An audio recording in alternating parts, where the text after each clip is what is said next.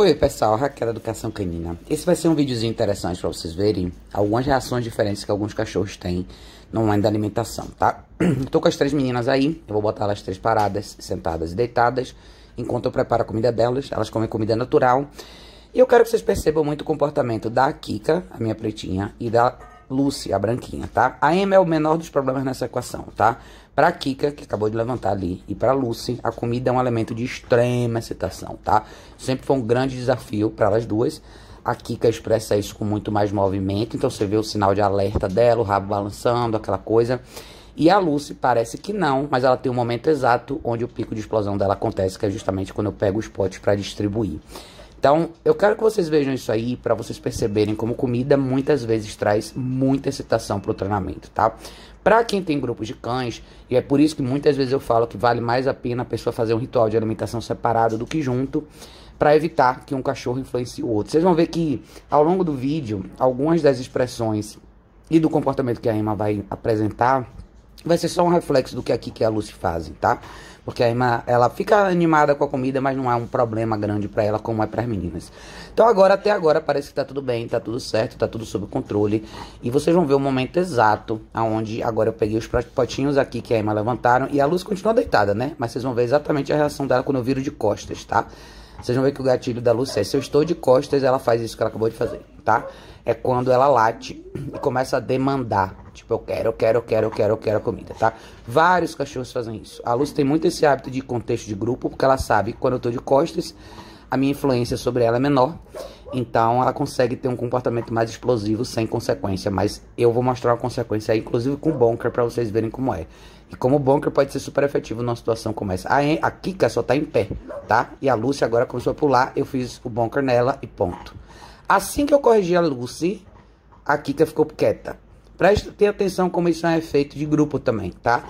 Os cachorros também veem muito isso. Então, o que a Emma fez ali, como eu falei antes, é só um reflexo do comportamento das outras vezes. Vejam como a Lucy cerca você. Ela vai para suas costas, né? É isso que deixa ela segura em ter esse comportamento mais explosivo. Então eu parei ela de novo aí.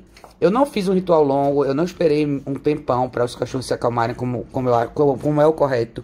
Eu só fiz esse vídeo para vocês entenderem como que a, a, dinâmica funciona e como o momento de explosão para alguns cachorros acontece muito rápido, num microsegundo. Então, Dá pra ver que boa parte do ritual elas duas ficaram quietas. A Kika até mostrou um pouco mais de excitação no início. Mas a Lúcia, ela espera aquele momento chave para abordar você numa direção onde você tenha menos habilidade de intervir. E ela faz muito isso, principalmente quando estou com as mãos ocupadas. Porque ela sabe que é dali que vem uma possível consequência. Então, vários cachorros vão te testar dessa forma.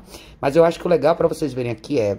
para quem tem múltiplos cães às vezes repense se o ritual da alimentação é, não é melhor, é, não vale mais a pena você fazer de repente os cachorros comerem na caixa de transporte, que é uma coisa que eu recomendo bastante para meus clientes.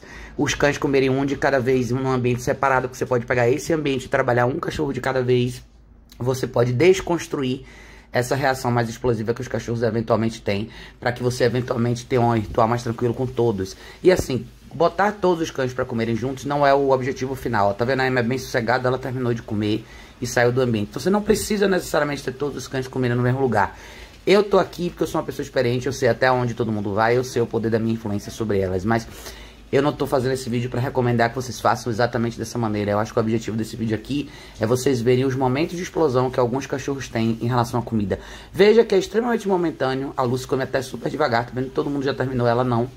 É, assim que acaba a comida, todo mundo volta ao normal, como se nada tivesse acontecido. É bem pontual mesmo. Mas eu acredito que muitos de vocês passem por situações similares. Então, é, vejam, percebam esses pequenos momentos nos cães de vocês. Vejam se não vale mais a pena fazer um ritual separado para você desconstruir essa excitação com muito mais calma, um cão de cada vez para que eventualmente, se for o caso, fazer um ritual em grupo com todos os cães comendo juntos, tá? Eu tô aí, eu sempre faço parte do processo do início ao fim. Eu espero todos os cães terminar, eu lavo os potinhos, eu recolho as coisas e aí a gente sai da cozinha e a gente volta ao normal, tá? Mas eu acho que era a mensagem desse vídeo era essa. Comida traz bastante excitação. Muitas vezes o ritual em grupo pode ser mais prejudicial do que benéfico e vale avaliar de é, cada caso em particular, tá? Então eu espero que tenha ajudado vocês aí. Beijo enorme.